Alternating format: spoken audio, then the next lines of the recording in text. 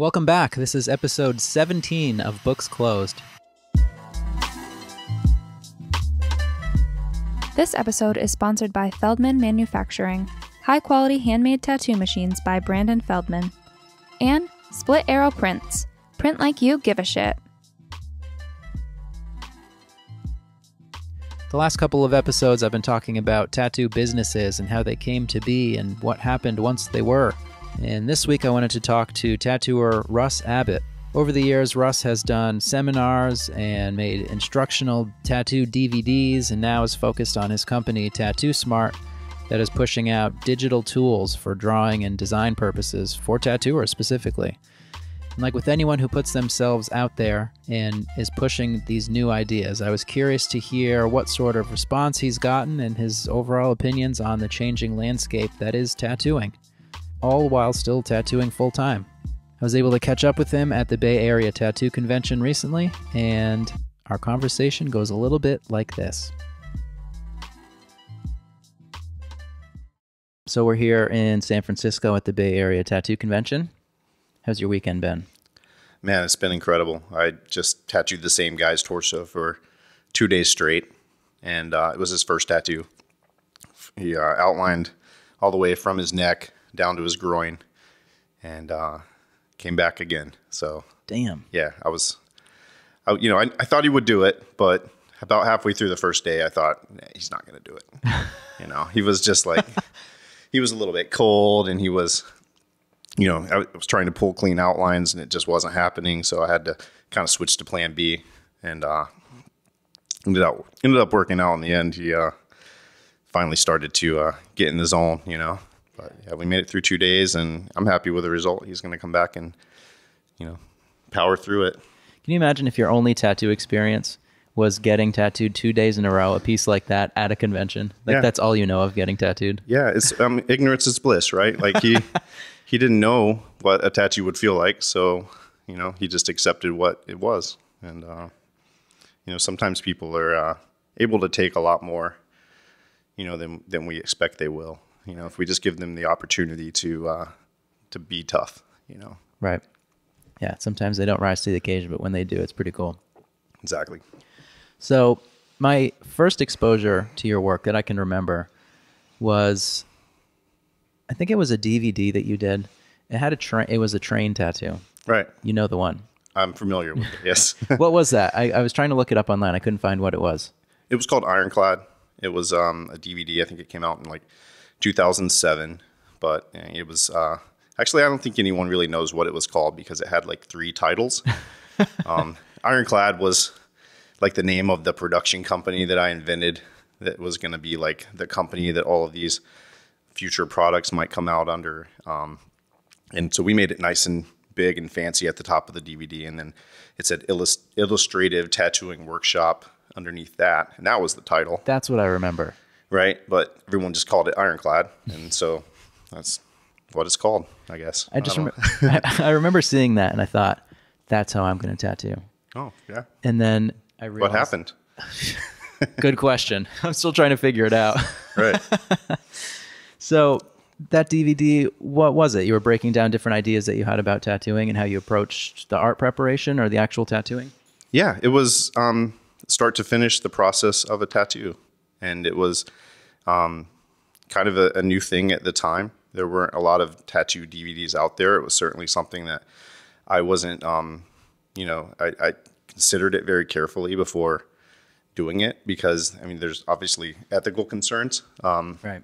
so what I figured out was that I was willing to distribute it myself and personally look into each and every person that was purchasing it to make sure they were really a tattooer because I, I didn't want to contribute to um, anything negative coming from it. But I also wanted to, you know, just try to contribute something positive to help educate my peers, not not to teach people that don't tattoo how to do it. So What was the feedback that you got back from that? mostly positive. Um, I'm sure there was negative out there, but it didn't make it to me. Right. I did that and uh, started teaching a lot of seminars. Um, I'm sure, uh, well, we've got a lot to talk about. I won't get ahead of that, but yeah, the DVD was kind of the start of it, of uh, me sort of becoming known in the in the world for education for for tattooing. Was that your first like extracurricular project to tattooing? Yeah, I would say it was. I'd done a flash set, you know, a few years earlier, but this was like kind of the first thing. Putting yourself out there in a different way. Yeah, and it was. I mean, I, I didn't know how to do any of that stuff. I'm not like you. You know, I had to hire someone to uh, to film it and had to come up with the money to uh, make the DVDs and there was like this whole disaster where the um, authoring on the DVD was screwed up, but I'd paid like several thousand dollars to have a thousand DVDs made, and when they came, there was a glitch in every single DVD. Oh. And it was just like my heart sank, sank, you know, and I had to uh, just do it again. Brutal. Right. yeah. It's like you finally work up the courage to do this big project. Right. And then you hit a speed bump. Right. But I guess that's always the case, right? Yeah. Yeah, it can be. That's kind of the, the joy of it. It's why it's so rewarding sometimes to, uh, to get out of your comfort zone and, and do something hard. Yeah. So where does your inclination to teach come from? I'm not sure. I think um, it was it was started as an inclination to learn. You know, not you know being a, I you know I, I did an apprenticeship, but my apprenticeship didn't fill in all the blanks for me, and so I ended up discovering Guy Aitchison's um, mostly his book, Reinventing the Tattoo. Um, that was like the Bible to me. Mind blowing. Um, yeah, exactly. Um, you can wipe dark colors into light ones, and it's not going to ruin the tattoo.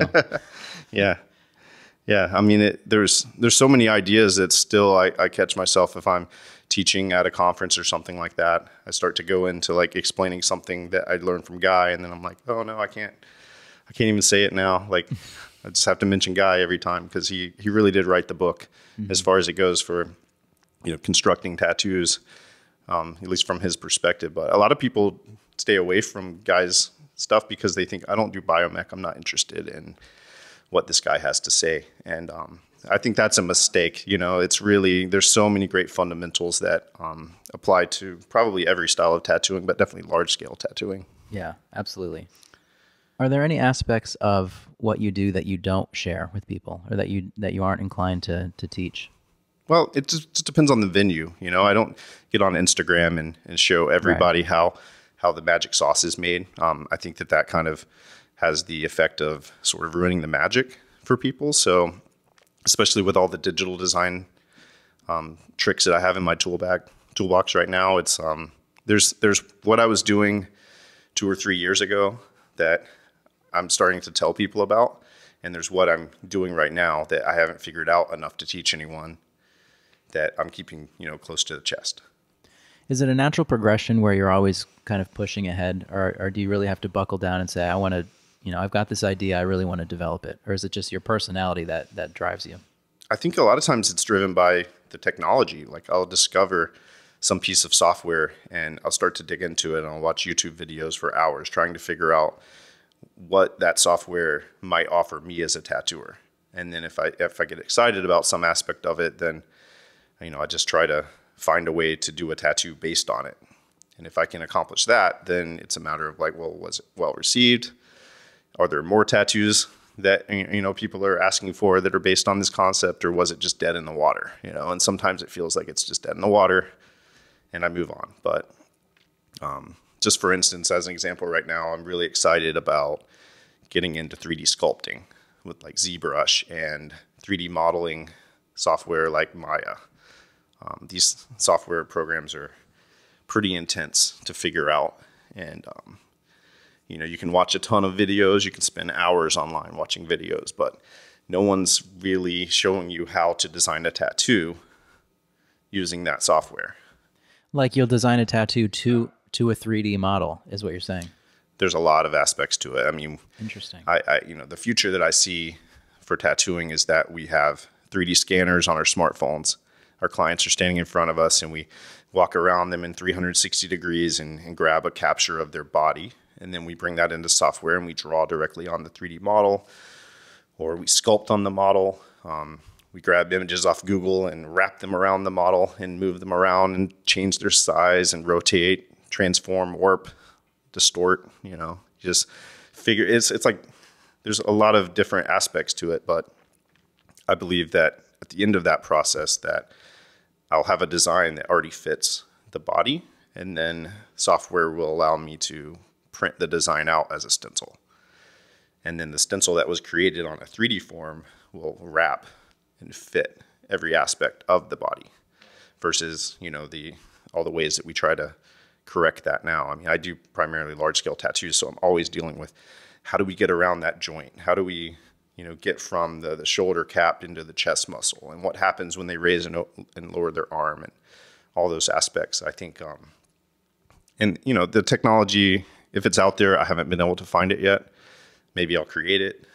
Um, I think more than likely the fashion industry will come out with really great tools because you know it's in their interest to find a way to give people access to clothes that are perfectly fit to their body. So it's just a matter of time before tattooers can adapt to those. Right. Yeah, because it's it's so great to be able to draw on an iPad, for example, but it's it's just you're drawing floating flat above somebody if you like have a layer of their of their arm or whatever that you're right, tattooing on. Exactly. What we do a lot of times is we take a photo of our client and then we draw the tattoo, but it never ends up being one to one. When we make a stencil of that drawing and we go to fit it, there was, you know, the body was turning away from the camera lens, and there's a distortion in in how big, especially off to the sides of the body part, like the chest piece I did yesterday. I always kind of draw wider than the picture because I know mm-hmm. that it's going to wrap. Right. And I sort of have a sense for how much it's going to, you know, shrink on the edges just from experience. But I think it's it's still a better tool than just meeting your client face to face and drawing something on a piece of paper and hoping it fits. You know, right. there's there's a lot of different, you know, fun little tricks and techniques to, uh, you know, use the digital design and and it's just a matter of uh, finding what works for you. I think a lot of tattooers are just now getting their iPad, you know, and um, you know that's not really the the tool that I've been using. I've been using a 27 inch Wacom Cintiq. You know, that's where it's at. You know, much much larger screen um, with a computer plugged into it. So it's hard even for me to to deal with the tiny screen of an iPad. I feel like the next iPad Pro will be larger because that's really all they can do to. I mean, there's a lot they can do to improve. The processor it, will improve, right? It's yeah. going to be. Um, they've they just announced Adobe's coming out with their version of Photoshop for the iPad Pro. Mm. Um, it's coming out sometime in maybe mid 2019. Mm-hmm. And uh, that means, you know, all the other Adobe products like Illustrator and, all, you know, there's a ton of them. Um, so that means that the iPad's processor is getting as powerful as it needs to be to, to do that stuff. Have you always been interested in technology? Oh, yeah, definitely. Are you um, a tinkerer? Yeah, I'm more of a tinkerer, always trying to figure out what's next. You know, trying to trying to be a little bit ahead of my peers and, and find kind of the, the gold out there in the hills, you know? Yeah. So let's back up a little bit. Let's sure. talk about your, um, just the trajectory of your career when it started to give a little context. So, sure. When did you start tattooing? 2008. I uh, started tattooing out of my dorm room at Georgia State. Ordered a kit through the mail. I found out, you know, you could just order a tattoo kit I got my Spaulding and Rogers kit with the uh, tattoo artist T-shirt and the certificate. You write your own name in it. You know, it says tattoo artist. Um, got all the little flash in the catalogs, and I would like go to the copy machine and like blow the little designs up over and over again, and um, just it's pretty humble, you know. I got a uh, apprenticeship a few months later. I apprenticed for a guy named Troll. Um, everyone had a nickname back then. It seems like. Um, at a, a shop in Norcross, Georgia. I was 19 when I started, 39 now. So you said you didn't start in 2008. No, you 1998. Yeah, okay. Did I say 2008? You said 2008. Oh, sorry. I was going to say, damn, you're good. 98. okay, yeah. yeah, clarification. 1998. That makes a lot more sense. I mean, at this point, it seems like a lot of your focus, I mean, at least what you put out, a lot of focus is on digital design. Um, so let's talk about Tattoo Smart then, okay. which is something that I'm sure a lot of people are either familiar with or they've at least heard of. So, what what is Tattoo Smart? What is your goal? Well, Tattoo Smart is a marketplace. It's just an online store where tattooers like me are selling things that they've created that apply in some way to tattoo design. Um, that's like the general 50,000 foot overview. Um, it started with I just wanted to create a place other than my shop's website to sell things that I was already making. So I had the color wheel that I made um, for Eternal Ink, and I was selling that. Um, I was selling it on Ink and Dagger Tattoos website. So I feel like that was probably a little weird for Ink and Dagger Tattoos customers to have to go to our website to and see all these like tattoo education products. So Yeah. so really it just started with that. I need to make another place. So my software of choice is called Clip Studio and at the time it was called Manga Studio, but they changed the name. Um, it's a at the time it was only on the computer. iPad Pro hadn't come out yet. So we launched Tattoo Smart. I was pushing products that worked with Clip Studio and trying to tell tattooers about this really great software for tattoo design. And then the iPad Pro came out, and there was no way that I was going to win the argument to purchase a $2,500 Wacom Cintiq and a $2,500 MacBook Pro just to try digital design. So what ended up happening was I started to notice like I mean people were sending me text messages that knew about the Wacom and knew about my process and they were like iPad just killed your shit, dude. you know. "Oh, yeah, all right, fuck. So So you have to adapt at that point. yeah, I mean, well, I mean, Tattoo Smart had to adapt. I could still do what I wanted Sure. to do, but we were going to have to. I was going to have to understand what the iPad Pro offered, and um, I immediately started hearing that everyone was into Procreate. So Procreate's an app. It's 12 dollars on the App Store, and it's simple. It's like, you know, when it first came out, it's it's got a lot of upgrades since then, but it was very basic. Um, but one of the nice things about Procreate was that it was so simple. So people that were new to digital design could figure it out. You could just open it up and start drawing. And if there were any options, they were hidden away, and you had to learn hand gestures to even find them. So it wasn't as stressful. You know, when you open Clip Studio, there's all these buttons everywhere. And so you're like, oh man, what, I can't even keep up with all the buttons. I can't remember what button to press. So I think Procreate won on simplicity. And also, once you do a drawing in Procreate, you can spend 10 hours on it. You can play a little video of your drawing. And um, people were uploading those to Instagram.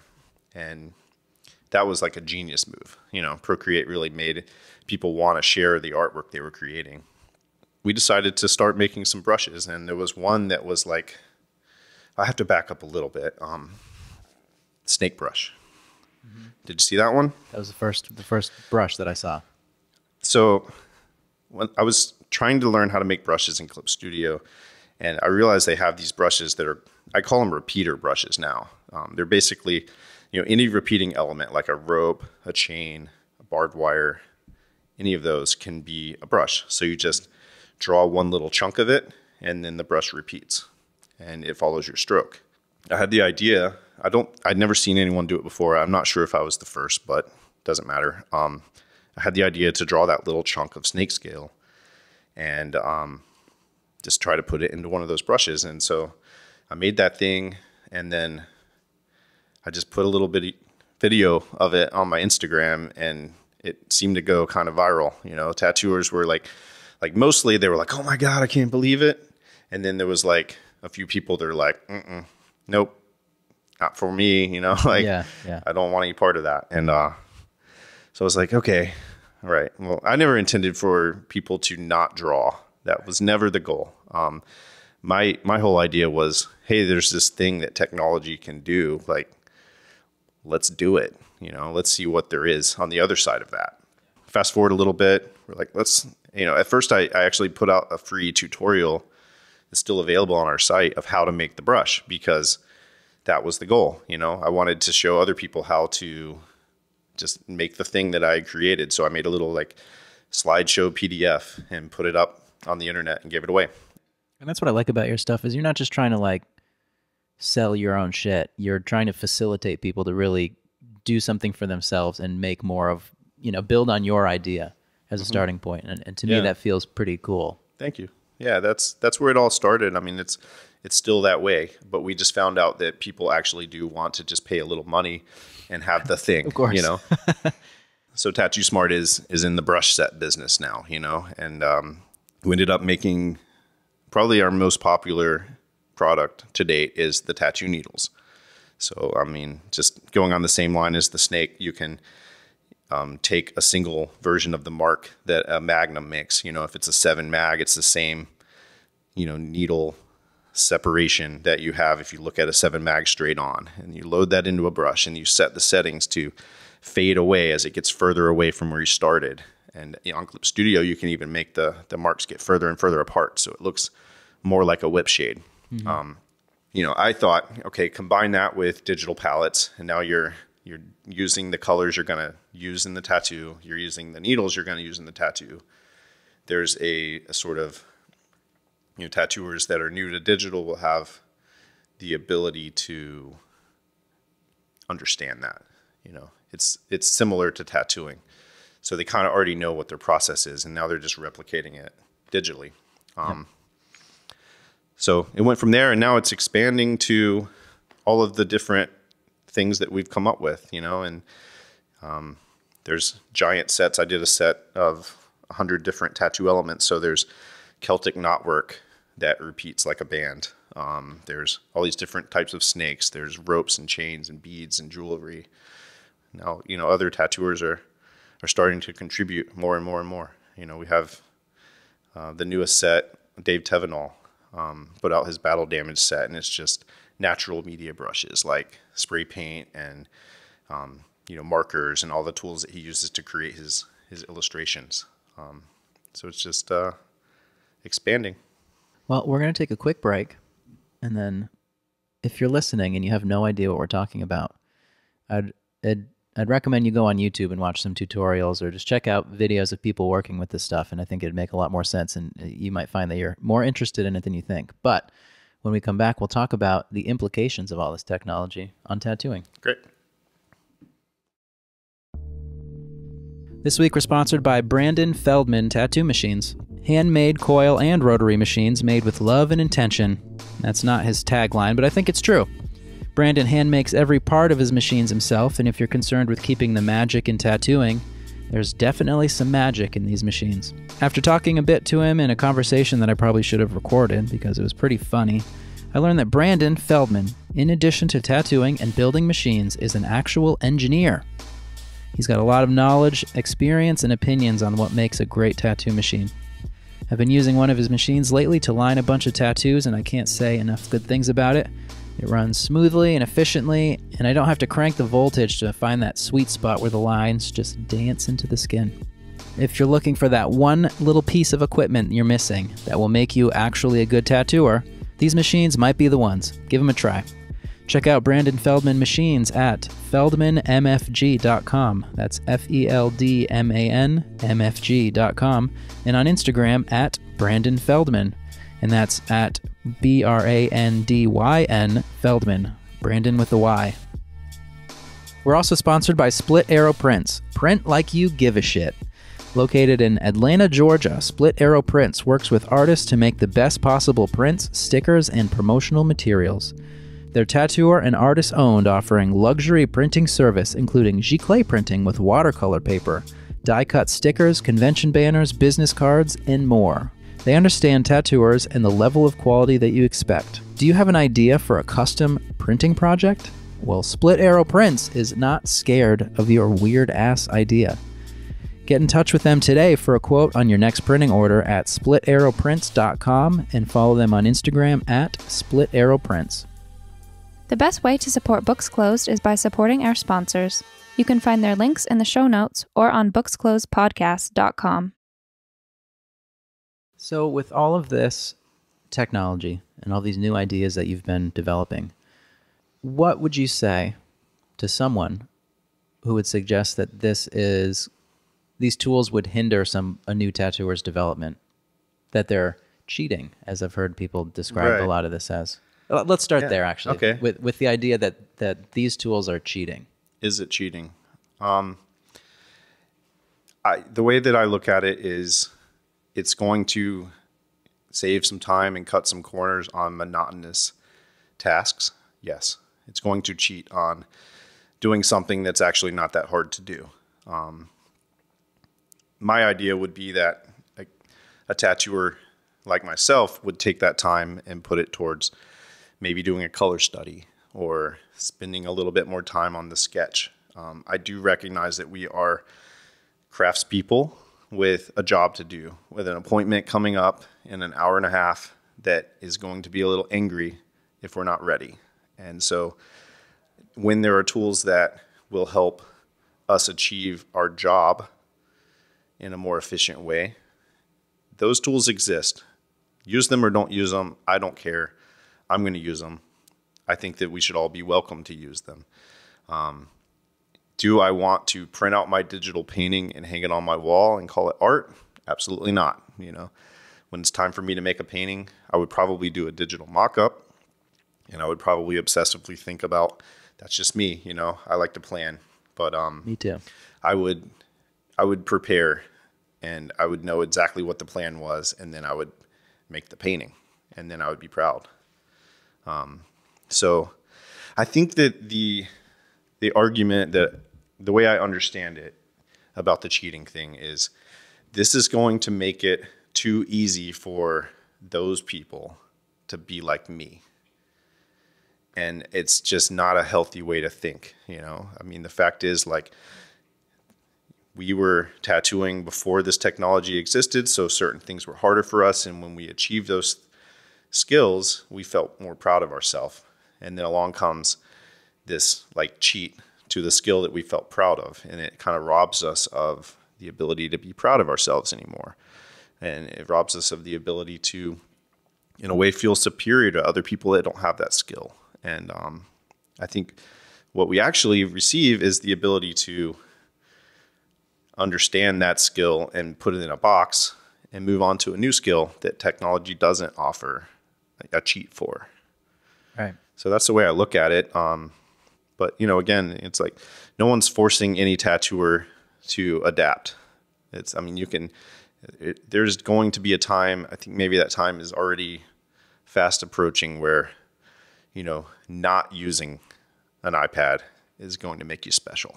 You know, it's just like a sign painter that paints without the use of a computer is special. Um, you know, it's kind of funny to think about, but um, that's just the way it works. You know, it just Yeah. keeps the world keeps moving.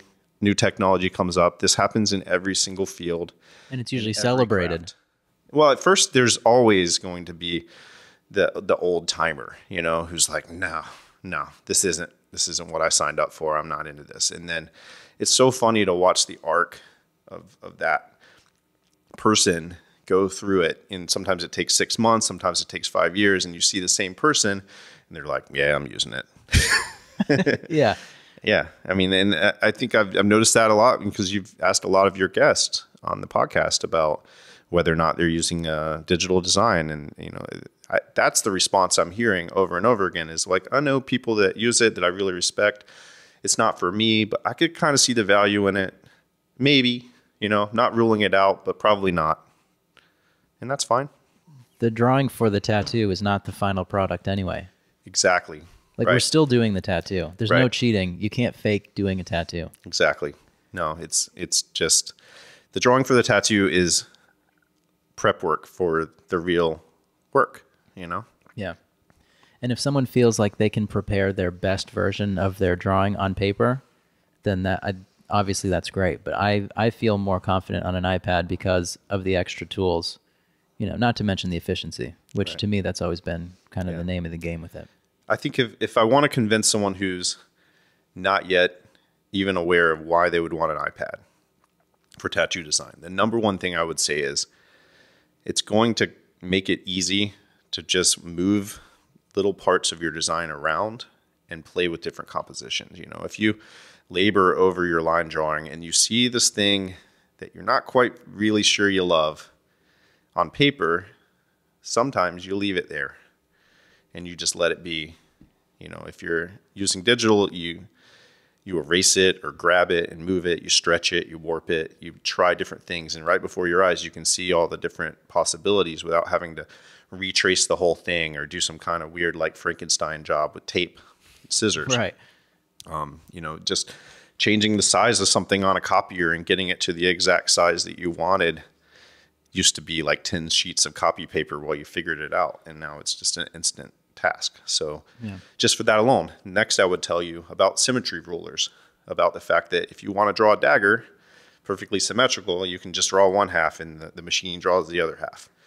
And then if you want to, um, oh man, there's so many. Um, I use perspective rulers sometimes, so I'll set up rulers that allow me to create perfect 2D or sorry, two point and three point perspective. Um, I use this concentric circle ruler, so you like tap a dot in the middle of the screen, and every circle you draw is centered on that dot. So maybe you want to draw like a vinyl record, um, and put it on a um, a gramophone, right? So I've done a design where I used the concentric circle ruler and drew all the circles for the record in about five seconds.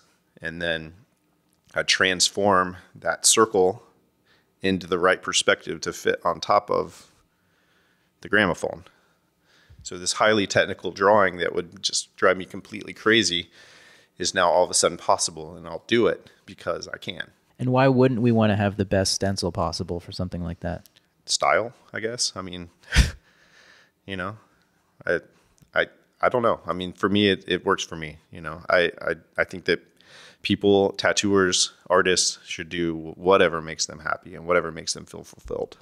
Why do you think people fear change so much? Because in that this is a thing bigger than tattooing, obviously, Right. but in the context of tattooing, why why are people so unwilling to do some try something new? Fear, you know, fear that their livelihood is going to be called into question. Like if, if what was so hard for me to accomplish is all of a sudden easy for all the new kids to accomplish, and we see it. You know, we see ta- tattooers with one or two years experience going totally viral on Instagram, and um, you know, it's if if you're starting to go a little gray in your beard, um, you know, it, it's it's definitely a legitimate fear, right? You know, like what is the age group of tattoo collectors?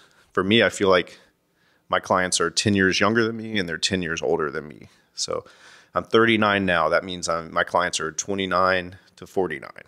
And, and I don't, I haven't actually studied it. I don't know if that's true, but it just feels that, that way. I'm not getting Yeah. 18 year old clients that are seriously trying to get tattooed by me. So that's just the way it goes. I mean, we as tattooers, um, there's a large community of aging tattooers right now who are, you know, kind of faced with the the fear that if they don't adapt, if they don't spend all this time on social media, if they don't figure out how this iPad thing works, that they may be left behind. People of like the era that you started tattooing, there aren't. I'm, I don't know of many that are as outspoken about embracing this new stuff. It's almost like uh, like shameful in a way. Yeah. which Yeah, is, it is. And, and I understand that they're they're probably it's just rooted in being intimidated, Yeah. like you're saying, by the just trying to learn something new. And it's like, well, I can already draw on paper. Why am I going to spend this time to learn how to draw again when I when I've done it for so long? Yeah, I mean, a lot of them probably talked a lot of shit about it at one point, you know, and they, you know, if they're considering whether or not they're actually gonna get into it, then they have to face that, you know, in some way. They just have to be comfortable. Yeah. Um, I'm not sure.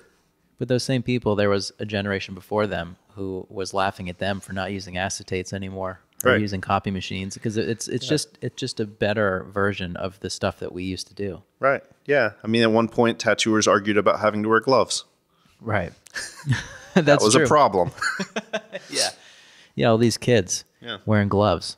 So that they're going to live longer, which means they're going to tattoo better because they've got longer careers. Ooh, yeah. Shit. yeah i mean it you can take it way far back you know when it comes to like people complaining about using a tool um, to do a job it's like all right well you know like who was the first caveman that like used a, a sharpened stick to, to draw something you know and were the cavemen before him like no no no we're not doing that you know Right.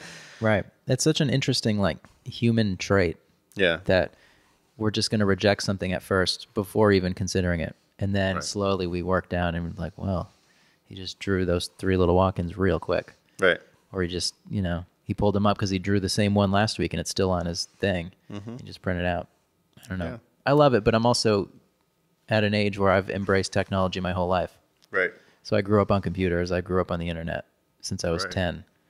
So I, I understand that I've got a different perspective on it than a lot of people, and especially a lot of older people who I look to for guidance and stuff in tattooing. Right. Well, I think what I see a lot now, a lot of people talk to me about this stuff. Um, there are a lot of tattooers who, if they were teaching another tattooer, they would like for them to start on coils, even though they may be a rotary user with cartridges, right? But they want, they think that they should learn the hard way.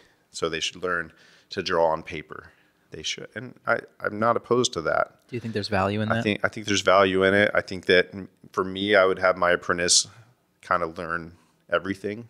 There's just so much to uh, to get from all the different processes, you know. Um, so it's I, I definitely don't think that I would like to see an apprentice never be forced to draw on well. I mean, first of all, they they should be drawing on their own because they love drawing. Right. so like, forcing them to draw, that's kind of a problem. But um, you know, I have uh, I'm going to have an apprentice soon, and um, you know, she's she's been at the shop kind of acting like an apprentice for quite some time now, but I don't call her the apprentice yet. Hopefully, she when she hears this, she's going to get all giddy because I just said she's going to be an apprentice. But congratulations. but um, one of the uh, the projects that I came up with for her was to um, create basically a brush set of all the uh, we're going to call it the minimalist set, but it's really the Pinterest set.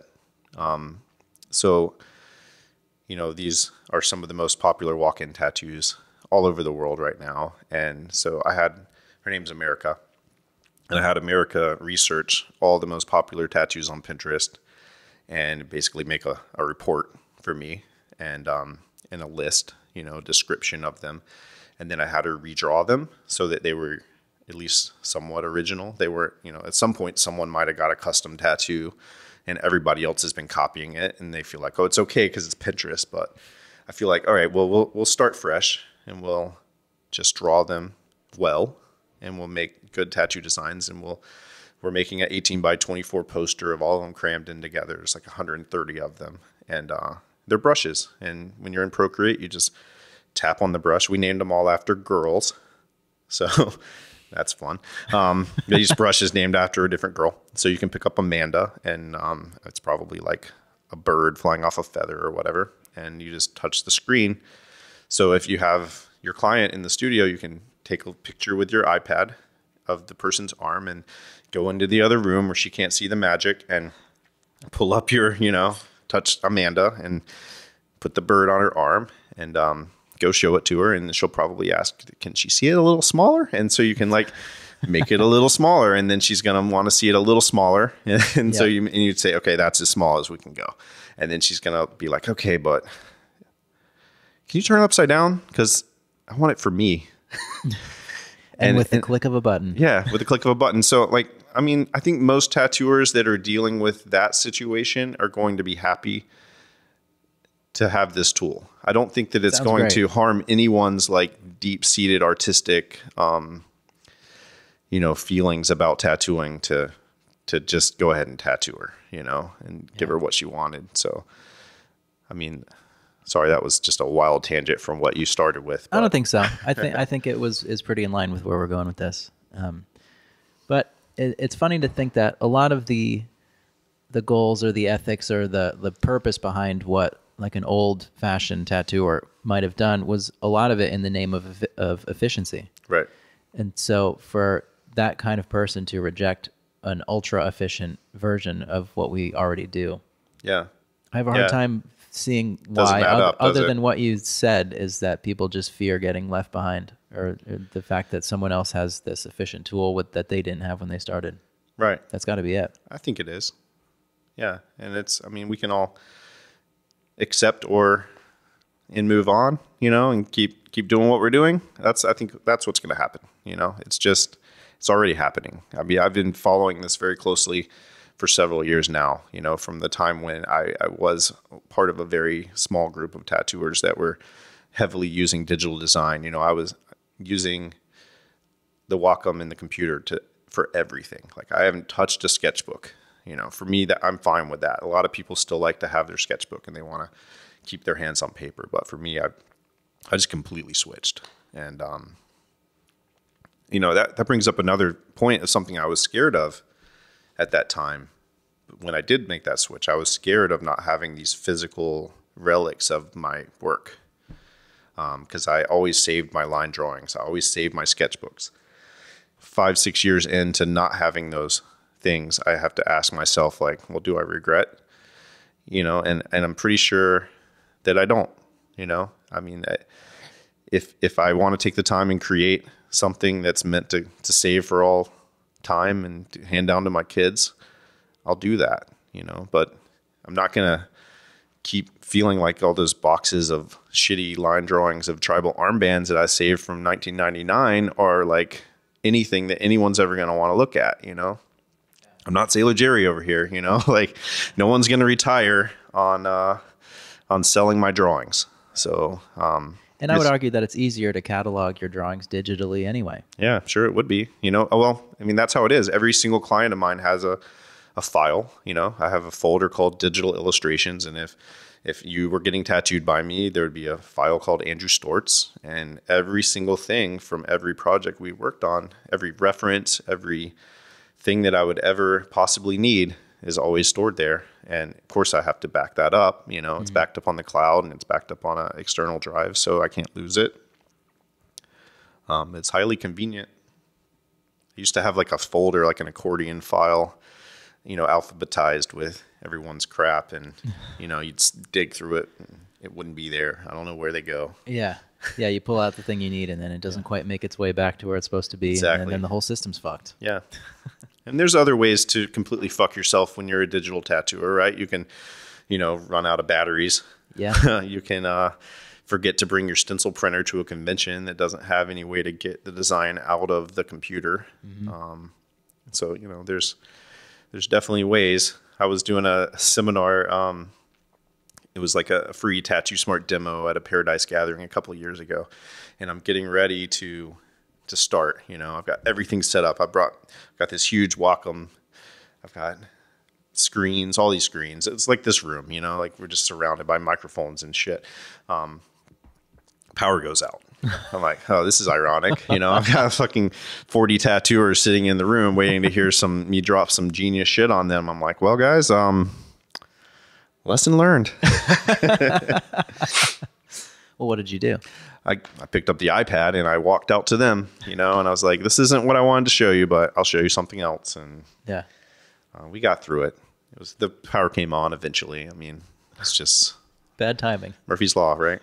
right let's talk about because I'm interested in the way you approach things. Um, it seems like you've got a lot of structure, and it seems rooted in like a very traditional educational system. Are we talking about my tattoo work or well, like as you explain your uh, your future apprentice, you're you're like giving her projects and you're giving her assignments, mm-hmm. and then the way that you cataloged your things in the past, like it, it seems like you have a lot of structure. Where I find tattooers aren't necessarily the most organized or dependable people in a lot of ways. Right. What's what's your education background? Your experience in school? I have a high school diploma, and um, what kind of student were you? Straight A's, man. Come on.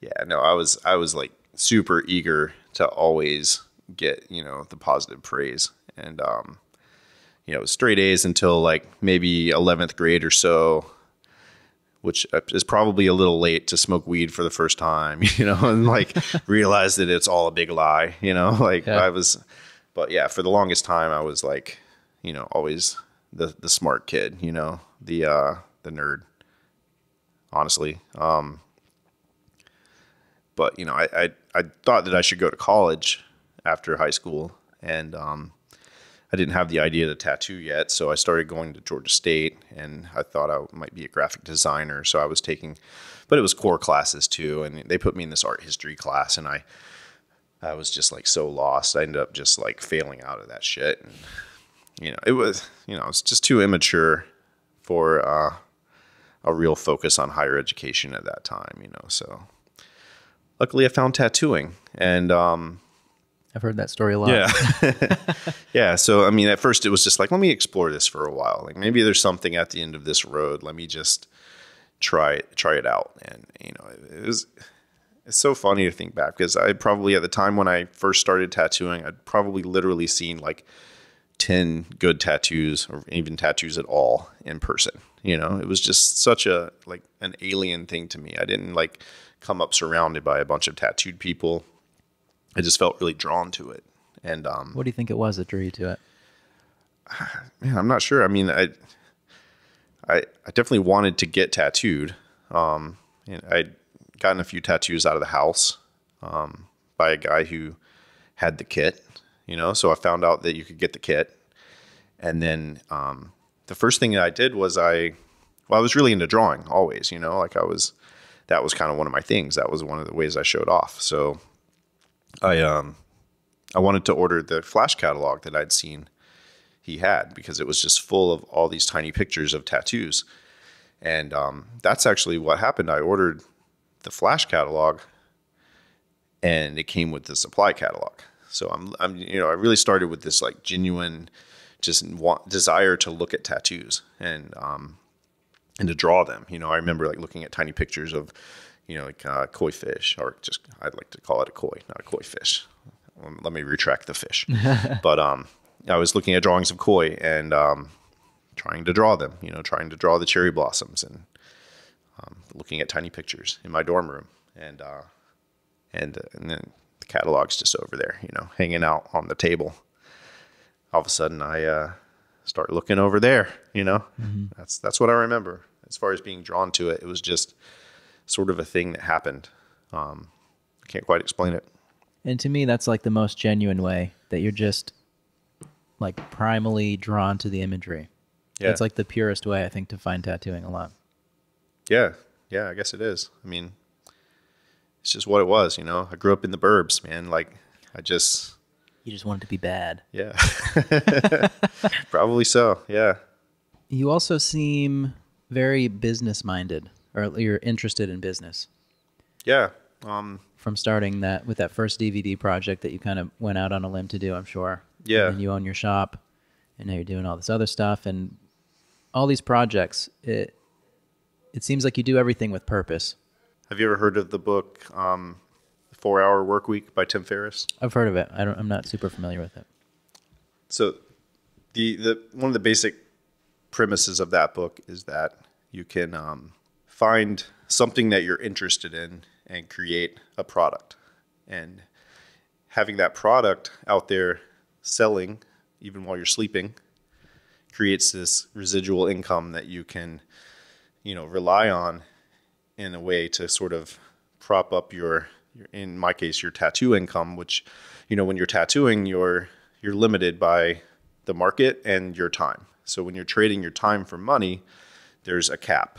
You know a tattooer that solely relies on tattooing and, and doesn't have their own shop and doesn't have products that they create is essentially you know going to have a cap on their income. Um, that person is probably not going to be doing a great job of um, say saving for retirement. Spending the several thousand dollars it probably costs a lot of people's families for health insurance as a tattooer you know? They're just you know they're taking care of essentials but they're not necessarily like thinking ahead. And um, so you know i kind of always felt like you know i was probably going to want to have my own tattoo shop. You know maybe that would create a sort of sense of um, income i could rely on. But you know making products that was like definitely inspired by that book. And i, I think it's something that you know i recommend that book pretty often. Um, but you know you don't have to read it to know that you know you could be making prints of your artwork or you could be making a brush set for tattoo smart or whatever it may be. Like whatever you're interested in whatever you think that you can create that other people are going to be interested in potentially purchasing. Um, we all have social networks of people who you know if they're your friend or they look up to you they might buy the thing you know just because they want to be nice. And um yeah so it's it it started with the dvd it was successful. Um then i decided to make a book. I made a book called ornamental archive. Um And uh, looking into it, it's going to be kind of expensive to make a book. Um, and I just heard about this new platform called Kickstarter that was had just come out, and the idea, you know, probably at this point everyone knows what it is, but you can create a campaign, make a video, um, just ask the world to support your your thing, and at the end of it, they get the thing. So that's how Kickstarter is different than GoFundMe. You know, you're actually getting something. You're basically pre-ordering. If I'm able to raise enough money, I will make the thing, and then you will get the thing. And um, so I made a Kickstarter campaign, and I was probably one of the first tattooers to to try to create a product using Kickstarter, and I raised a little over fifty thousand dollars, and I needed twelve thousand. Wow. Um, So I made more books, and I ended up deciding to do it again. And I, I came up with the uh, the color wheel for Eternal Ink, and I wanted to make this like device with several layers and masks that you could move around on top of the color wheel, so you can see different color schemes. And uh, I wanted it to look like a vinyl record and um, fit inside a record sleeve and all this stuff. So went back to Kickstarter, ended up raising all the money that I needed and then some. And you know, it, it, there comes to a point where you know people are like all right man like you don't have to do the kickstarter thing anymore like there's there's other ways but um it's definitely something that people could benefit from if they haven't already done it um Yeah, because when people get the product, then you know it's a fair exchange. It's not a handout. right So if you keep making the stuff that people want, then I feel like you could potentially do that over and over again. i mean i've got ideas there's a thing that i'm not talking about that i, I probably will do a kickstarter for um, You sure you don't want to mention it right here? no i don't no because i'm not really 100% committed to following through on it you know it's a little like outside of my my realm you know i've got to i've got to basically carve away enough time and attention to make it happen. And that's the way it is probably for a lot of us um, a lot of our peers that are like sort of business minded and you're always you know you have a hundred ideas a day you know you you file one of them away for the maybe list and it just goes on and on and on until eventually you have to like actually do something. But and the biggest thing is actually finishing it right? You know like you have to you have to actually finish it uh, and and when you do it's it's a great feeling you know and then you have to once you've finished it then you have to continue to talk about it. And that's where it gets really hard because you feel a little weird you know like always jumping on your instagram and talking about a product. And that's why it's nice to have distributors you know when you have a company like tattoo smart that's out there as tattoo smart talking about your product.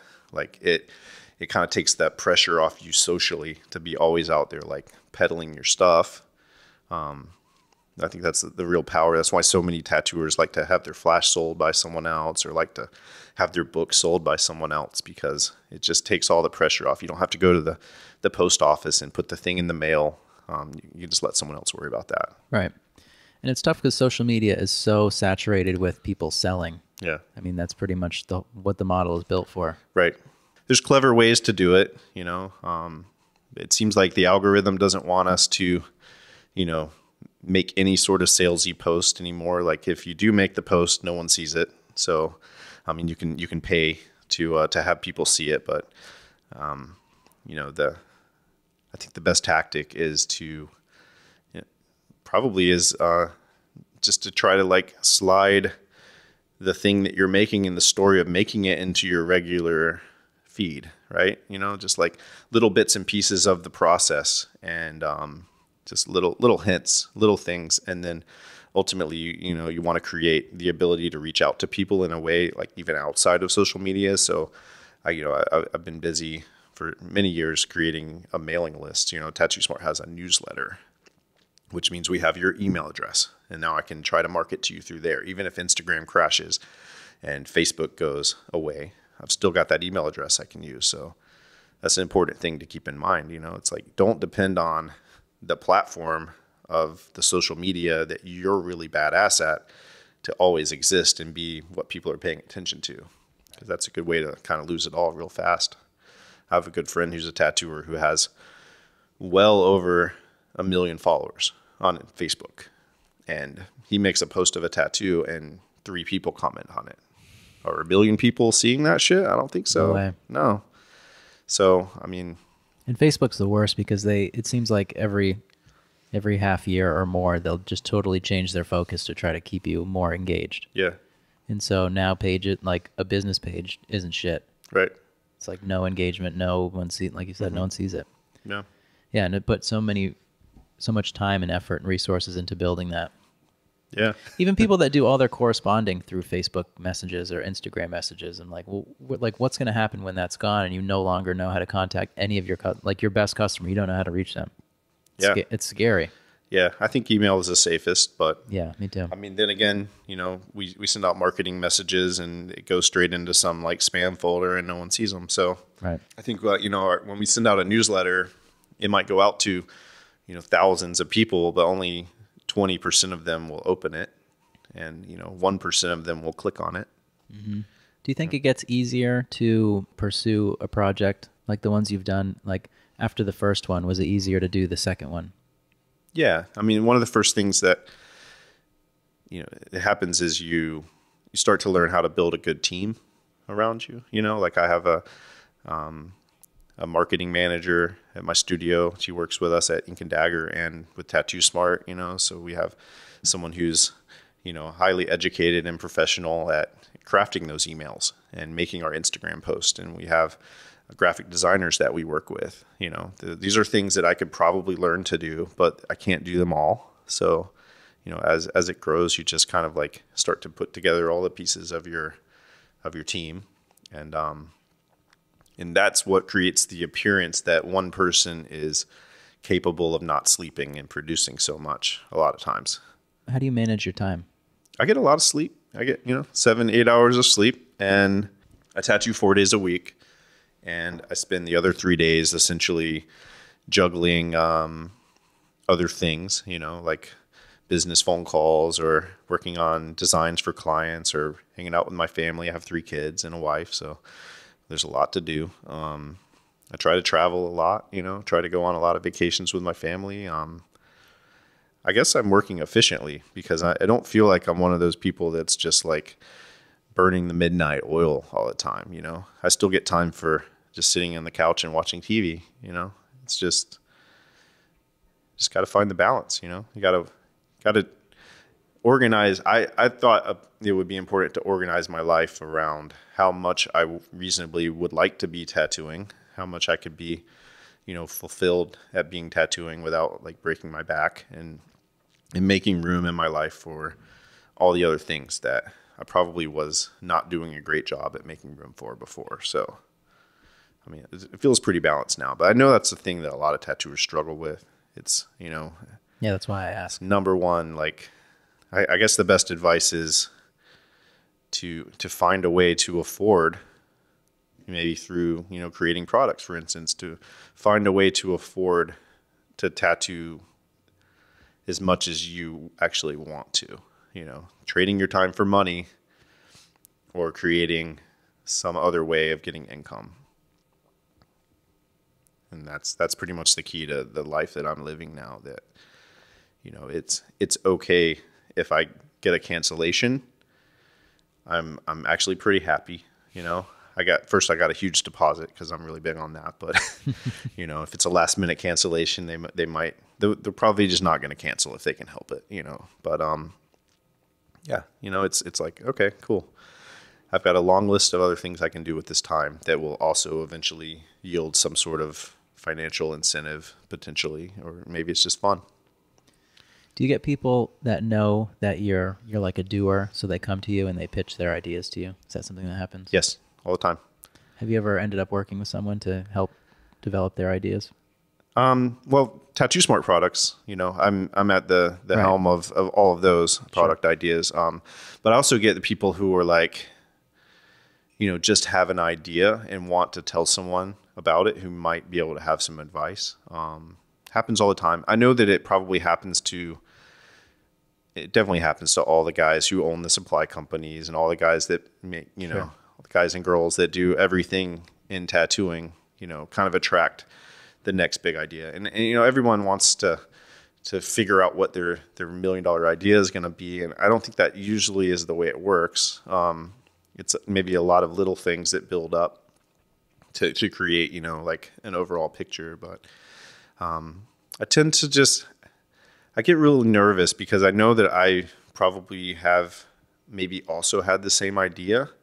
And what I'm most scared of is that someone's going to share their idea with me and then it's going to steal my thunder away from feeling okay about making it, or mm-hmm. it's going to create the situation where if I do make it, they're going to say that I stole it from them.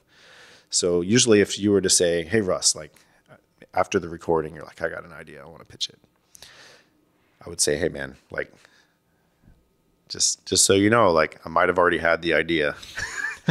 so if you want to tell me, just you know, I'll, I'll, I'll give you my honest opinion. But um, yeah, it's kind of I, I don't know. It's can you relate? Can you understand that? Like it's, I, I, I usually it's um, it's fine. You know, I can just give people yeah. my opinion and um, tell them you know what what the first step to exploring the idea is. Have you ever helped someone dodge a bullet? Their own bullet? Oh yeah, I mean, I can. I wish I could think of specifics, but we probably wouldn't want to name it anyway. Yeah, definitely after the after the Kickstarter successes, there were other people that wanted my advice on Kickstarters, and well, I feel like you see that and you're like, oh, that's yeah, easy, right? Yeah, and I, I, have advised a few. You know, um, I advised uh, Dave Tevenal on his book. I advised Guy Aitchison on the the Biomech Encyclopedia. And these are people um, that got the goods, though. Yeah, so. exactly. Um, th- I think the biggest thing is people don't understand how the platform works. They think, okay, I want to like, I want to get this space in my town and um, convert it into like an art space for kids or something. I'm like, okay, well, what's the thing? What's the product? Because everyone that donates on Kickstarter wants to get the thing. So is it a book about the process of creating the the space or is it a documentary film? Like there has to be a thing for Kickstarter. If not, go to you know uh, Indiegogo or go to GoFundMe or you know there's a lot of different crowdfunding platforms that just have a different purpose. So that's a lot of the advice I give. It's just like you're you don't belong on Kickstarter. This idea goes over here, and here's the challenges you're going to face. And that's probably pretty valuable advice for someone who can't figure it out on their own. Right. Well, that's how they figure it out. You know, they right. seek counsel and they they try to try to do their homework so they don't fall into a giant gaping hole. right, right. It's funny that you can get overlooked for all the other stuff you do, but your your day to day is truly still tattooing. Yeah, exactly. Yeah, I have uh, four days a week of uh, trying to mainly do giant tattoos now. Mm-hmm. Um, I, I, made a conscious decision to just focus on large scale work, and um, so it, it, it's funny. Um, you know, your podcast is about social media and technology a lot. So like when your work is all like too big for a phone screen, which has kind of always been a thing for me. Like I, I do a lot of sleeves. It's it's it's really disheartening to like depend on likes and comments and and, put up this thing that you worked for, you know, 60 hours on, and uh, and have like crickets and yeah. then to, you know and then there's the tattoo that you do that's like six inches by six inches that's really eye catching on a screen and all of a sudden the world seems to love it you know and i think that uh, you know i've definitely experienced the you know the, the effect that that has on myself you know just to kind of like make me think oh man like i guess what, what i'm doing is not worth it or you know maybe i should just say fuck it and, and start catering and pandering to the the needs of of the internet. But um, you know, that would be a shame. It'd be a waste exactly. of, of yeah. your what you want to do. right. So so that that's where it's at for me now. It's just about like you know I feel like I'm backing away from social media a little bit. You know, I'm because it's crazy it. that we feel like that. That's even something that you have to consider. Yeah. Like maybe I should change what I want to do because yeah. of this thing that's like I'm not even that keen on, other right. than for like using it for my business. Yeah. Yeah. I mean, shit. What is? How long has Instagram been around now? Is it seven years or?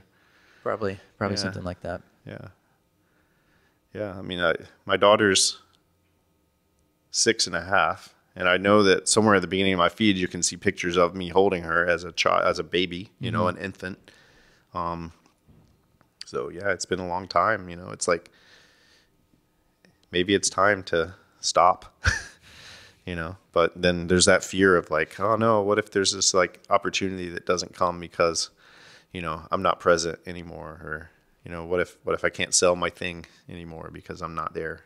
Right. So, I guess we'll keep forging ahead. Yeah, I mean, I guess it's always just troubleshooting. Yeah. Like, and I think that's the reason that people will post videos of their tattoos more now because that can give you a better sense of large work. Right. Because a, Yeah. a flat photo of a sleeve is never going to do it. Right.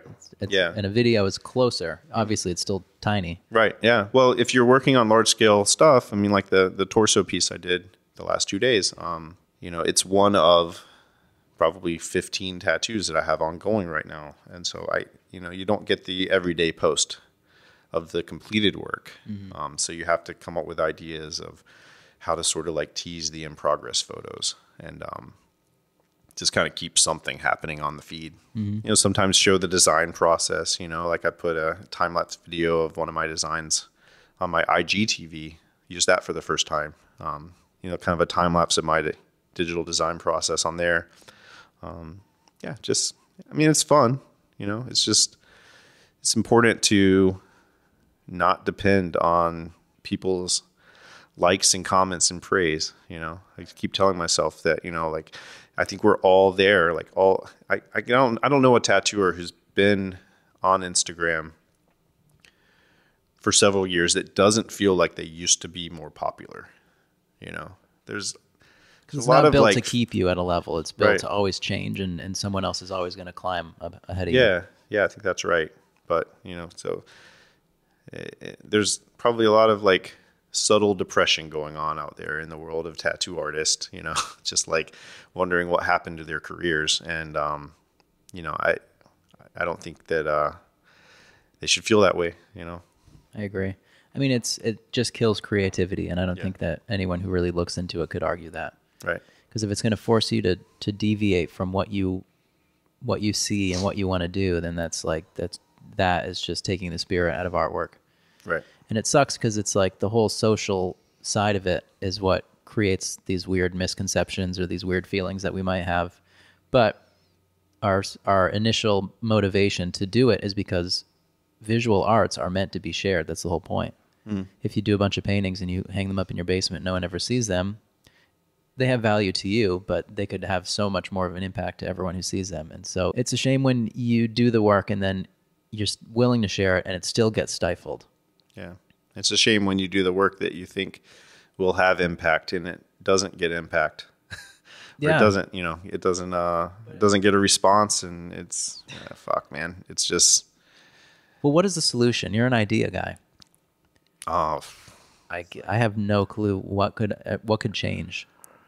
like what what would the next Instagram do differently to well, I mean, I think a lot of people would say to take the algorithm away, you know, bring it back to um, you know, what it was before. I mean, the algorithm is primarily designed to keep us scrolling so they can serve us ads, right? And, and, and Instagram and Facebook need to sell ads in order to exist. So we all get that, you know, but um, you know, it, it's it's definitely totally different than it was before, you know, for artists at least. Um, so I think the, I guess the best thing I can think of right now is just to, to figure out a way to not rely on it. You know, don't forget about your website. You know, I think that those, those are still a thing. Do you monitor the traffic of your website? No, it's, I mean, it, It's, I, it, it's real low on mine. it's probably low on mine too, but we do funnel all of our appointments through it. You know, in order to contact someone at my shop about a tattoo, you have to go to inkanddagger.com and and we do that to, you know, kind of get everybody through the funnel that we've designed. Um, it's a good idea to keep watching and keep paying attention to what might be next and if there is if there's a uh, what was the name of that platform that popped up a few months back that everyone Vero. jumped to? Okay, right. So I, I was one of those people that was on Vero at the beginning of the day because I saw some tattooers say like, "Hey, you know, we're over here now," and uh, maybe it's a thing and maybe it isn't. And I kind of felt like, well, I want to make sure that I grab Russ Abbott and Yeah. Ink and Dagger, and I'm no sure one else is going to get thought, them. yeah. So um, I'm going to go, and and I do kind of like the idea that maybe there's another platform that we could all go to. That sounds fun. Um, and so I made a made the obligatory like I'm over on Vero post, and like I swear, man, like at the time when I made the post, it worked. You know, I can't claim credit for breaking it, but a number of us all went on this at the same time to the same place and tried to make accounts, and somehow it was too much, and they weren't ready for it. And um, so, you know, all these people were going over there and then coming back to Facebook and going, "Man, it doesn't even fucking work. Like it keeps refreshing and it won't load." And uh, you know, we just never went back. So, I mean, maybe the next um, social media platform will be ready for us. It shows that there that it can happen. Right. That's what I saw in all of that. Is that there's a large group of people, and I read a couple articles about it because I was trying to make fun of it on YouTube. Right. And it wasn't just tattooing. I'm sure tattooing was a huge group of people that went over to it in the same day, like you said. But there were other um, people that do like cosplay. There was like huge other groups of people that also went to it. So there's definitely a need for it outside of tattooing too. Right. So it's just going to take the right person to figure out what that's going to look like. Oh, they're definitely trying. Of course. yeah. I mean, they'd be stupid not to. Yeah. But I always say that a social media network dies when it's more people selling than actually like enjoying it and leisurely using it. Yeah, that's probably true. The first batch of episodes I made of this, I said that Instagram is coming up to the point, but I think that we're over the mark now. I think we've tipped into into that where it's only going to go down. Right. What do you think about tattooers placing ads on Instagram? Like, for instance, um, a friend of mine was telling me he travels and does a lot of conventions, and uh, and I was complaining, uh, man, I'm having a hard time booking at these shows that I'm not known at. You know, I used to be able to post, and there would be, you know, something would come back, and I could book. And now I'm going to, you know, like um, Puerto Rico coming up soon, and uh, you know, the, there's no appointment. So he was like, "Man, you know, you gotta pay." he's like, he's like, I. He pays in the region of the area he's going to, so within like a 25 minute or 25 mile radius or whatever he chooses, and he's he's he's sending the ad to just those people. But yeah, I, I'd feel like I think a lot of us feel like we would it would be like kind of shameful Yeah. to like have everyone see our sponsored post. Like it's a little desperate, but I just don't know I if don't we're at that is, though. point now where we actually kind of have to do it. Well, that's that's again something that we didn't choose, but that's now what Instagram is. Like we said before, now we don't see you don't see all the people that you follow. So now we have to pay for what we used to get for free. Right. But I and I wouldn't be surprised if that was a long term plan for them. Because why wouldn't it be? Yeah. Because their business, and a lot of people forget this, that they're who they're selling to are their advertisers only. So to to outline it like that and say, oh, well, we can increase revenues this way. Um, now we can sell to advertisers, but we can also sell to the people using it. So it's a way to create a premium service without saying that and scaring away a bunch of people or having outrage. Because obviously, if they're like, you know, nineteen dollars a month Instagram, you'll get more reach, mm. which they could do, and I would probably pay for it. I would pay. And I don't think anyone would be shame shamed for doing that. Mm-hmm. Because why? Why? If you're gonna fucking do it, you know, Right. it's worth it. Yeah. So I don't know, but I, I have noticed that I used to I used to laugh at people that really complained about having to scroll past ads on Instagram, but there's like a lot of ads now, mm-hmm. and it's and you can look, and it's every four or every five posts, Right. it's an ad. Yeah. I'll see one tattooer and then a tattoo shop, and then it runs out of like the ones targeted towards my interests, and then it's like Disneyland or you know whatever, just the general ones are, and then you just scroll, scroll, scroll until there's no ads left, so you can really see what they're offering or what is being targeted at you. Yeah. I mean, I, I think it's better than watching television commercials of things I'm not interested in. Right. Like it's it's a little more enjoyable to have, you know, ads served that are actually things I'm interested to find out about. So I think you know I'm not really all that mad about it. Um, I find things that I actually want through it. Right? Yeah, that's true. Watching TV, how many times have you actually seen something and you're like, Yeah. hell yeah, I'm going to buy that because it's so general because it has to be. Right. It's car commercials. How many people are going to buy that car? Right. A number of them, but Yeah, it's so expensive for companies to market that way too. You know, just Yeah. this has leveled the playing field and allowed for you know sort of a little company to be able to exist, to be able to like have success. You know, just like Kickstarter allowed the little guy to make a make a product. You know, without having to get a loan for you know from the bank or you know it's whatever. Like you know, the world is a lot more of a fair place for for selling something Yeah. for creating something. You know, you can you can make an Etsy store out of just about any craft probably, and there's an audience for it. You know.